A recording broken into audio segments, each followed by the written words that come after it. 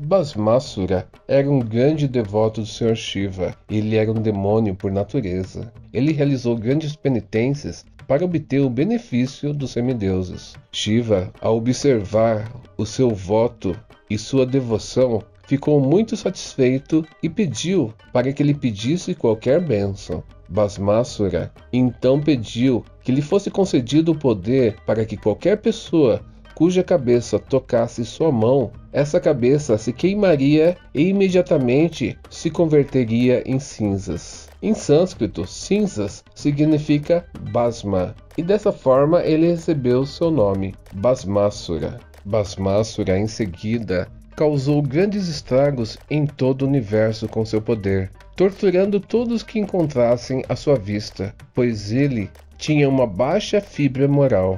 Todos os rishis correram e oraram ao Sr. Vishnu em busca de ajuda. O Sr. Vishnu, na sua forma de Mohini, apareceu na frente de Basmasura. Mohini era tão extraordinariamente bela que Basmasura imediatamente se apaixonou por Mohini. Basmasura pediu-lhe que ela se casasse com ele, e ela disse que ela gostava muito de dançar e só se casaria com alguém que pudesse igualar os seus movimentos de forma idêntica. Basmasura concordou em fazer um jogo e eles começaram a dançar. O feito durou dias a fio. Como Basmasura